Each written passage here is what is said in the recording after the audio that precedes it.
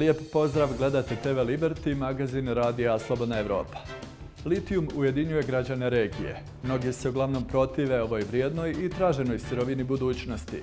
Proizvodnja litijuma, električnih uređaja i automobila je doživjela ekspanziju širom svijeta, ali i oživjela strah i ogorčenost mještana, u blizini čih kuća se nalaze potencijalni lokaliteti za rudnike.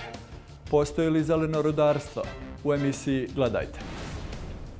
U Loparama istraženi radovi otkrili velike količine litijuma. Poljoprivrednici Majevačkog kraja nisu baš sretni. Ostaćemo bez pitke vode, ostaćemo bez hrane, ostaćemo bez zraka, bez, znači ostaćemo bez svega što do sad imamo. Znači ovaj, ovaj raj ovdje na zemlji, mir, spokoj, čist zrak, e, ovo se zaista nema para kojima se može platiti. Srbija na nogama, poljoprivreda na koljenima zbog litijuma u dolini Jadra. Poljoprivreda i rudnik ne mogu zajedno. To što oni kažu zeleno rudarstvo, zeleno rudarstvo može da bude samo ovdje. Kakav je utjecaj litijumskih rudnika na životnu sredinu? None of the mining is really green. Dodatna istraživanja i potencijalno otvaranje rudnika litijuma u Loparama izaziva zabrinutost stanovništva, ali i predstavnika lokalne zajednice. Rudarenje bi, kažu, nepovratno ugrozilo okoliš i poljoprivredu kao primarnu djelatnost ovog kraja. Vlada BH entiteta Republika Srpska tvrdi da se trenutno ne provode nikakve aktivnosti po pitanju litijuma, koji je svetraženija sirovina. Upravo ovdje nalazi se jedna od tih e, bušotina, znači koji su ostavljene prilikom geoloških istraživanja. Iz te bušotine, kao što i sami vidite, i dan danas teče zagađena voda. Mi smo radili ovaj, e, znači, e, analizu te vode. Pronađeni su naravno spojevi raznih teških metala koji su, koji su, recimo, ta voda ne da nije za piće, nego čak što više je otrovna za živi svijet. Cijelim prostorom ovdje su se vršila istraživanja, znači to vam je kilometar i po od samog naseljenog mjesta Lopare. Tragove istraživanja litijuma iz 2022. godine građani Lopara osjete i danas. Ima e, kuća gdje su nakon tih e, vršenja geoloških istraživanja u domaćinstvima su bunari presušili, a imamo i situacije gdje su e, se bunari zagadili, gdje više apsolutno nisu za piće. Mještani strahuju da bi nova istraživanja ili otvaranje rudnika ugrozilo poljoprivredu ovog kraja. Zdenka Mitrović se više od 20 godina bavi stočarstvom i voćarstvom. Nada se evropskoj zaštiti o autentičnosti majevičkog sira koji proizvodi. Kaže da ne vidi kako bi poljoprivrednicima pomogla rudna industrija ostaćemo bez pitke vode, ostaćemo bez hrane, ostaćemo bez zraka, bez, znači ostaćemo bez svega što do sad imamo. Znači ovaj, ovaj raj ovdje na zemlji, mir, spokoj, čist zrak, ovo se zaista nema para kojima se može platiti. I zaista mi ćemo se boriti, znači svi ovdje, znači svim silama da ne dozvolimo. Zaista mislim ovaj, to kopanje, otvaranje rudnika. Oni kažu da je to za naše dobro, ali ovaj to dobro neka oni radi kod svojih kuća. Nama je ovdje odlično i bez rudnika. Ministarstvo energetike Republike Srpske 2018. godine odobrilo kompaniji Arkor izvođenje geoloških istraživanja bora, litijuma, natrijuma, kalijuma i struncije u Loparama. Procijenjeno je da u Loparama im je približno milijon i po tona litijum karbonata, 94 miliona tona magnezijum sulfata i 17 miliona tona bora. Vlada je rezerve potvrdila prošle godine, međutim kažu da do sada nije bilo zahtjeva za eksploataciju, niti ima daljih aktivnosti. I u Loparama u litijumu ne vidi ništa svijetlo. U posljednjem dokumentu koji je objavila kompanija Arcor navedeno je da će ako dobiju koncesiju ekološko i društveno odgovorno rudarenje početi od kraja 2026. godine. Nema od toga ništa, mi smo narod majevice, narod voća, narod izleta, narod svega, kakav litijum, mi ćemo njega to otjerati vrlo brzo. Stanovništvo će znači piti vodu koja je nezdrava, sadit će povrće i voće e, u zemlji koja je nezdrava i udisat će vazduh koji će oštetiti njihov pluća i to vodi ka tumorima i tako dalje. I mislim da će to u narednim godinama, posebno za 10-20 godina, znači skroz opustošiti ovo mjesto. Ako je loše za narod, protiv sam. Ako je dobro za narod, onda sam za. Ja sam bio, dao sam svoj potpis protiv toga. Zaštiti prirodi i seotskog načina života posvećeni su i u općini Lopare. Obodom tog polja teku dvije rijeke rijeka Gnjica koja ide u rijeku Savu, uljeva se u Savu i rijeka Janja koja se uljeva u rijeku Drinu. E, potencijalno ispuštanje toksičnih materija u te rijeke bi ugrozilo sav život nizvodno od, od pomenute lokacije. Oko 90% stanovništva koje živi na području opštine Lopare se sigurno protivi ovom projektu i uz upotrebu svih legalnih sredstava, ali na kraju i ovaj, sredstava fizičkog otpora nećemo dozvoliti realizaciju tog projekta. Načelnik vjeruje da planovi ipak neće stati na istraživanju.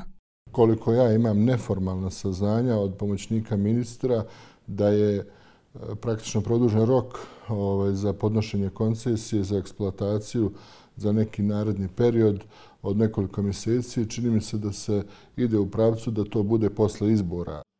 Ni općina, ni skupština nisu upoznate s projektom u vezi s litijumom. Ja samo smatram da oni još uvijek nisu da kaže spremni da unaprijed odbace taj projekat za razliku od građana Lopare koji ne želi pod raznu cijenu ni po, ni po kakvu cijenu taj rudnik u svom mjestu. Iz Centra za životnu sredinu tvrdi da brine i tajnost koja prati projekt u Loparama. Najavljuju pravnu podršku mještanima. Ovo je klasičan kolonijalni pristup gdje e, određene velike kompanije ili države podržavaju iskopavanje u jednoj korumpiranoj i osiromašenoj zemlji kao što je Bosna i Hercegovina. Uzmu se određene sirovine koje će poslužiti zapadnim zemljama dominantno u ovoj priči da, da izvrše elektrifikaciju i zelenu tranziciju. Ono što će nama ostati jeste uništena životna sredina, Udruženje građana Čuvare Majevice podnijeli su inicijativu nadležnom entitetskom ministarstvu koja se odnosi na proglašenje Parka prirode Planine Majevice. Do sada su na planini pronađene 54 vrste biljaka i životinja koje se nalazi na crvenoj zaštićenoj evropskoj listi, kao i tri endemske vrste životinja. I u gornjim nedeljicama na zapadu Srbije, gdje se ponovno najavljuje rudnik kompanije Rio Tinto, mještani se protive iskopavanju litijuma – Iako je prije dvije godine stavljena tačka na taj projekat, dok su hiljade građana protestovale protiv rudarenja litijuma, on se oživljava proteklih sedmica odlukama vlasti.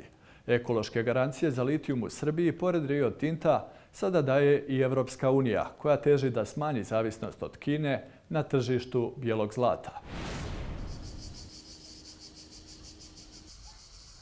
Ovo su poruke koje zatičemo u selu koje leži na rezervama litijuma i bora, sirovina na koje računa Evropska unija.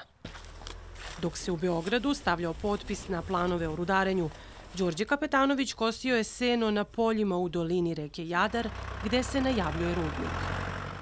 Pa ogorčen sam, znači, ovo je čista neka, pa kako da kažem, podvala prvo od naše vlasti. Država poslednjih sedmica povlači poteze ka izgradnji rudnika međunarodne kompanije Rio Tinto, koji je stopiran pre dve godine pod pritiskom masovnih ekoloških protesta. Poljoprivreda i rudnik ne mogu zajedno. To što oni kažu zeleno rudarstvo, zeleno rudarstvo može da bude samo ovde. Evo, ova priroda, kukuruz, od toga se znači živi mi, znači evo, treća generacija, znači od moje familije, Znači, ja verovatno i od pre, ovo je naš rudnik ovde i drugi nećemo. Zamajac za projekat uz ekološke garancije daju Brisel i Berlin. Memorandum o održivim sirovinama između Evropske unije i Srbije najavljuje ceo proizvodni lanac. Od kopanja litijuma u Jadru do fabrike baterija za električna vozila. Wir müssen resiliente Strukturen in unseren Lieferketten haben. Und das bedeutet, dass wir neue Rohstoffquellen erschließen müssen in aller Welt, aber natürlich zuallererst die, die in unseren Ländern dort existieren, wo das Glück und die Geschichte und die Geologie sie hat entstehen lassen. Ovo će za nas da predstavlja prekretnicu, veliku promenu i rekao bih kvantni skok u budućnost. Prema planu Rio Tinta, Jadar bi proizvodio oko 58.000 tona litijuma godišnje, dovoljno za 17% proizvodnje električnih vozila u Evropi. Rudnik bi, kako se najavljuje, bio otvoren 2028. Kopanje litijuma širom sveta nailazi na otpor ekoloških organizacija i dela naučnika, koji upozoravaju da je šteta zbog devastacije životne sredine veća od ekonomske koristi. Kao i sve druge rudarske kompanije, nije Rio Tinto jedinstven po tome. Sve druge rudarske kompanije iza sebe ostavljaju katastrofalne posljedice i pustoš. Zagađenje rečnog sliva, podzemnih voda, vazduha i zemljišta bojazan je za mnoge meštane doline Jadra. Rudnik i proizvodnja, proizvodnja povrća, voća, uzgajanje krava, svinja, to ne može nikako. To ne ide jedno s drugim. Apsolutno nikako. Slaviša Rosić u Gornjim nedeljicama živi sa suprugom i troje dece. Bave se govedarstvom. Kaže, i u štalu i na proteste ide sa porukom protiv rudnika litijuma. Ne damo našu dedovinu. Ako budem prodao to i dozvolio da se taj rudnik otvori, ja bukvalno prodajem svoju decu i svoju unučad. Je li vama nuđeno da prodate imanje? Pa iskreno rečeno, oni su dolazili, ja sam to sa kapije vratio. Uopće nisam razgovarao, niti sam upućen šta su htjeli. Rio Tinto je na zapadu Srbije duže od 20 godina, gde je otkrio jadarit, kombinaciju litijuma i bora sa rezervama koje premašuju 150 miliona tona rude.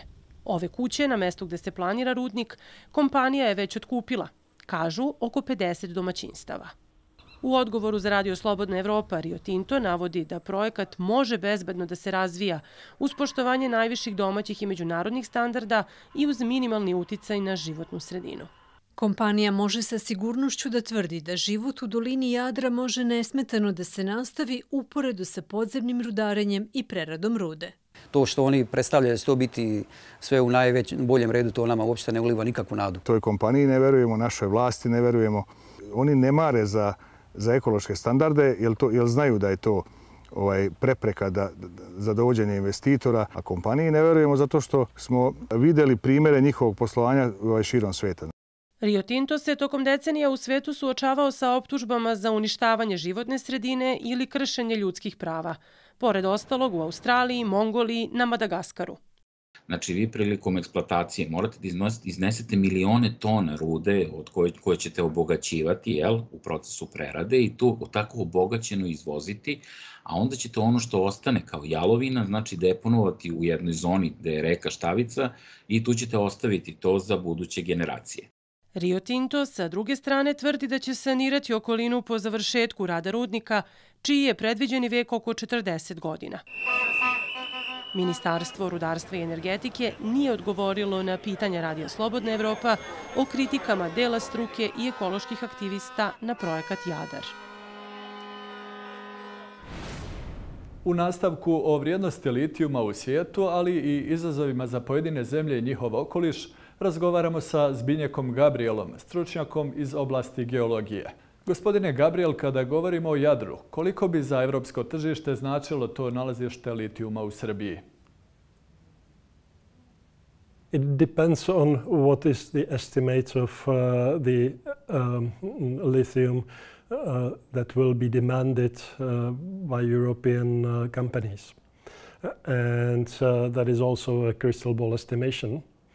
And uh, the estimation uh, goes like from uh, 400,000 tons to a million tons in 2030. So basically, if uh, it would be those uh, something less than 400,000 uh, tons, then Yadar production, which if I'm not mistaken, uh, is supposed to be something like 56,000 tons of LCE, uh, uh, would cover something like 15% uh, of uh, Europe's uh, demand. It's an extremely interesting deposit because it contains not only lithium, it, con it also contains boron. And boron is another very important element Jadar je još u fazi istraživanja. Kako ide taj proces i koliko je vremena potrebno od istraživanja do proizvodnje? In, in Europe, it usually is much longer than anywhere else. Uh, on average, from, uh, uh, from uh, the beginning of exploration to mining, it's like 16 years. Uh, uh, on average worldwide in lithium, it probably is 10 years or was 10 years. Uh, but it very much depends on uh, the circumstances of the mine. It takes much, uh, it is much more difficult to start mining the underground mine. For example, Jadar would be an underground mine. Kada je u pitanju utjecaj na životnu sredinu, možemo li rudarenje litijuma uopšte nazvati zelenim rudarstvom?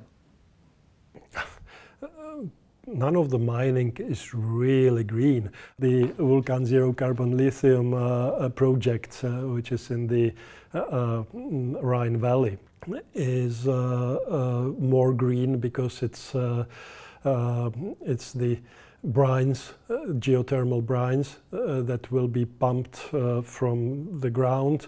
they will be used for geothermal purposes, plus they will be stripped from the lithium and then the water will be pumped back again. So basically it's very green.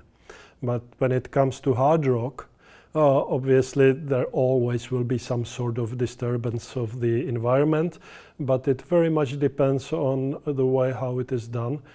And in Europe, we normally have uh, very strict regulations. And uh, uh so, uh, I mean, the company adheres uh, to best principles. it can be done in a very, very sensible way. Ljudi su također zabrinuti zbog otpada iz proizvodnja litijuma. Da li je njihova zabrinutost opravdana? The, the, the waste can be uh, of different uh, nature. Uh, either the waste that comes from the mining itself, uh, and I believe that in Yadar uh, a lot of the material will be put back into the mine there will obviously be some material that will stay uh, um, on the surface. And uh, then there are some materials uh, that go through the processing line and uh, uh, they might uh, they, have to be dealt in a different way. And probably there must be some more precaution in, for that material. But again, if it is done in a responsible way, Uh, uh, there should be not a large danger. Možemo li porediti opasnosti rudarenja i proizvodnje između litijuma i recimo željeza, bakra ili drugih ruda? Šta biste rekli da je čišće ili sigurnije? Uh, the thing is that uh, obviously, uh, again, you can do it in a different way, uh, uh and uh, it depends on how you treat the material, how you, how the processing plants are built, how it is dealt with the regulations. So th there are so many different things, and also Uh, on the uh, geological setting. So there are so many variables there. So I mean, it's very difficult to say what is more or less mm, dangerous. Vidite li litijum kao materijal budućnosti ili postoji nešto drugo što bi moglo biti bolje rješenje, neki drugi materijal? At the moment, uh, we don't have anything else uh, uh, that would be so efficient for uh, automotive uh, uh, industry. There are some new approaches using, for example, natrium instead of lithium, but the density of the electricity in natrium batteries is not that high, which means you either have a lower range for the cars or you just need a bigger battery.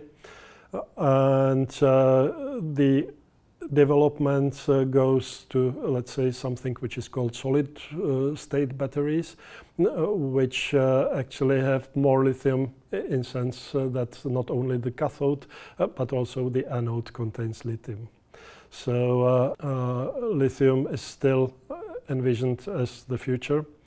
Obviously, for example, hydrogen would be something that could be looked at, but at the moment we don't have really technologies that would uh, mm, enable hydrogen to be used on a wider scale.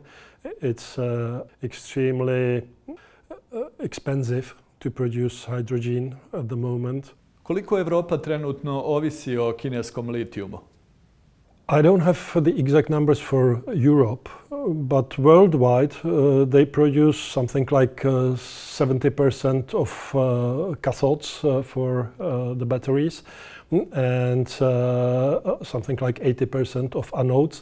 anodes, I mean, in batteries you have these two parts usually, um, and anodes are usually graphite and cathodes are usually lithium, although now they are searching for other materials to, to replace lithium. Uh, and uh, so China is very dominant in this area. And uh, they have uh, all uh, steps in the chain because they do have some raw materials, uh, although they are not the largest in the world, but they still have them. and they secure the raw materials elsewhere in the world, either through partly ownership of, uh, of, the mining companies in Australia, in Chile, uh, and obviously in Africa lately. Uh, and uh, they, they have uh, large capacities in the production of precursors, uh, the batteries themselves, and they also obviously produce a lot of cars. So uh, uh, China is re has really the entire chain. Gospodine Gabriel, hvala vam za gostovanje. Ostanite s nama u drugom dijelu emisije Gledajte. Prvi nalet investitora na Uni spriječali građani i aktivisti. Na redu su institucije. Na jedan besraman način su ishodovane ispod žita određene dozvole kako je Anđela zbog humanosti i dinamike posla zavoljala vatrogastvo i šta kažu sugrađani. Zašto žena? Zašto žena? Ne može to žena, to bi bolje muško odradilo i tako to. Osobe koje su pune adrenalina i koje su spremne da pomognu drugome, apsolutno je nebitno da li su ženskoga ili muškog pola. Državni inspektorat Hrvatske utvrdio je da za gradnju mini hidroelektrane na izvoru UNE ne postoje potrebne okolišne dozvole. Mještani Donja Suvaje u Hrvatskoj i mještani koji u Bosni i Hercegovini žive uz ovu rijeku upozoravali su protestima na to i tražili da se radovi zaustave, jer bi posljedice izgradnje bile pogubne po okoliš. Inspektorat je također podnio krivičnu prijavu protiv službene osobe zbog sumnje na zloupotrebu položaja. Moje srce je ovdje, moji koreni su ovdje. Ono što sam naučila jeste da je voda život.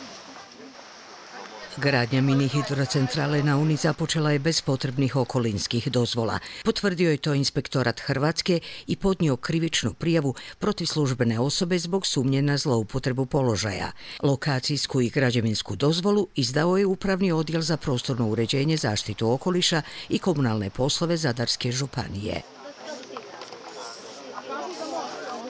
Danima ranije na hidroelektrani govorili su građani i aktivisti Donje Suvaje u Hrvatskoj i oni koji u Bosni i Hercegovini žive u Zunu. Sramni zločin protiv prirode, zločin protiv e, rijeke Une koji se dešava u Donjoj Suvaju u Republici Hrvatskoj na vrelu e, rijeke Une koji je od 1968. godine i hidrološki e, spomenik prirode, a isto tako nalazi se u okviru mreže Natura 2000, dakle evropske mreže zaštićenih područja na jedan besraman način su ishodovane ispod žita određene dozvole. Mulić kaže da su prekršene i međunarodne konvencije koje je Bosna i Hercegovina potpisala, Arhauska koja podrazumijeva pravo pristupa informacijama, sudjelovanju javnosti u odlučivanju i pristupu pravosuđu u pitanjima okoliša, te ESPO, konvencija o procjeni utjecaja na okoliš preko državnih granica. Dakle, sve to što, što jeste stvar jedinstvenog ekosistema, biodiverziteta na tom području, stavlja se na neki način pod upitnik jer su ugrožene staništa određenih vrsta. E, posebna vrsta koja je zaštićena u tom području jeste peš kao jedinka, ali ne samo peš kao jedinka, već i cijeli ekosistem, dakle njeno stanište. Da investitor Pipra Deo nema ocjenu prihvatljivosti zahvata u ekološkoj mreži Natura 2000 koja bi procijenila uticaj izgradnje hidroelektrane na rijeku, upozoravali su iz organizacije Natura Jadera. Investitor Pipra DOO nije odgovorio na upit Radija Slobodna Evropa da li posjeduje sve dokumente i da li će zaustaviti izgradnju. Stručnjaci ukazuju da su prvi radovi investitora rezanje stabala i preusmiravanje vodotoka ostavili nepopravljive štete. Onemogućava se migracija prvo riba, pa onda i drugih vodenih organizama, dakle koji prelaze iz jednog dijela rijeke u drugi dio rijeke. Dakle, automatski narušavamo taj dio ekosistema. Drugi, narušava se protok vode. Dakle, obično te male hidrocentrale svaka ima svoju branu i stvara neku akumulaciju vode. Dakle, na, to, to nam proizvodi e, jedan fenomen da se oni specifični uslovi protoka remete. I Ministarstvo zaštite okoliša i zelene tranzicije Hrvatske utvrdilo je da prilikom izdavanja dozvola nisu poštovani važeći propisi. Na tom tragu je djelovao i inspektorat, ali i entitetska ministarstva okoliša u Bosni i Hercegovini i vijeće ministara BiH. Sada je stvar na terenu vijeća ministara Bosne i Hercegovine da zajedno sa vlastima Republike Hrvatske, dakle vladom Republike Hrvatske, da se takve aktivnosti iskoordiniraju i da se zaštiti rijeka Una, da se zaštite životi građana Bosne i Hercegovine pa i Republike Hrvatske. Tok u nedug je 214 km i skoro u cijelosti zaštićen. Još 1968. uvršten je u mrežu zaštićenih područja Evrope. U Federaciji BiH je nacionalni park, a u drugom BiH entitetu, Republici Srpskoj, ima status parka prirode. Anđela Pajović jedna je od rijetkih vatrogaskinja u Crnoj Gori. Nakon 11 mjeseci volontiranja i obuke u službi zaštite i spašavanja Podgorice, dobila je ugovor o sezonskom radu. Voli taj poziv zbog humanosti i dinamike. Nada se da će jednog dana moći da se predstavi kao profesionalna vatrogaskinja. Vrelo ljeto, jak vjetar, na desetine požara u Crnoj Gori. U noćnoj smijeni vatrogasne službe i jedna žena – sa svakom akcijom sigurnija u sebe i u cilj da postane profesionalni vatrogasac. Kažu da vatrogasac je ispisao svoju karijeru i da može da se nazove profesionalnim vatrogascem, da za svoju karijeru spasi jedan život. Tako da ja se nadam da ću spasiti mnogo njih.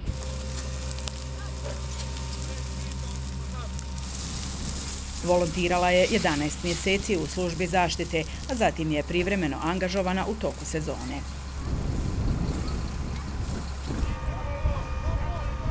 Bude malo iznenađujuće reakcije. Zašto žena? Zašto žena? Ne može to žena, to bi bolje muško odradilo i tako to. Ali obično pri kraju takvih intervencija i pri kraju pružanja takve pomoći ti ljudi su i tekako zadovoljni i ti ljudi tekako upute najljepše reći hvala. Pohvale stižu i od kolega u stanici u kratkim pauzama između intervencija.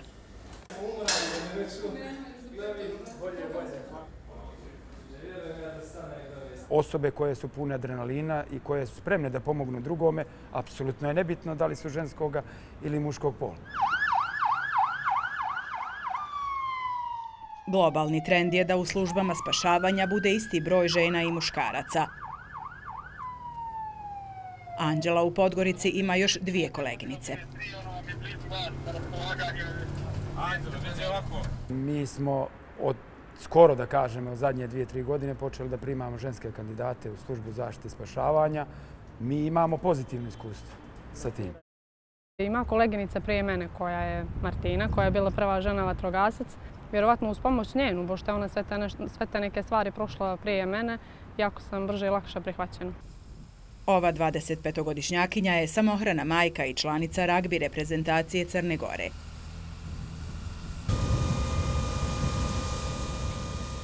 Uz podršku porodice uspjeva da uskladi privatne obaveze i posao. Dobro, dobro. Gledali ste TV Liberty. Emisiju, ali i naše ostale sadržaje pronađete na stranici slobodnaevropa.org. Ostanite s nama i u pokretu uz aplikaciju za pametne telefone. Hvala za pažnju i doviđenja.